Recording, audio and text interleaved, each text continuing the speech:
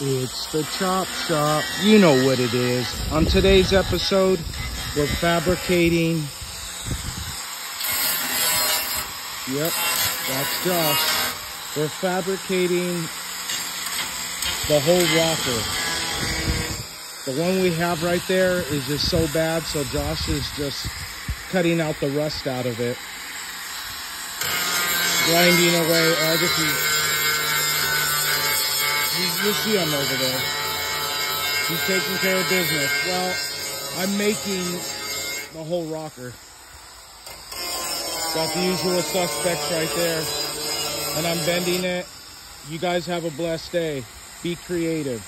It's a chop shop. You know what it is.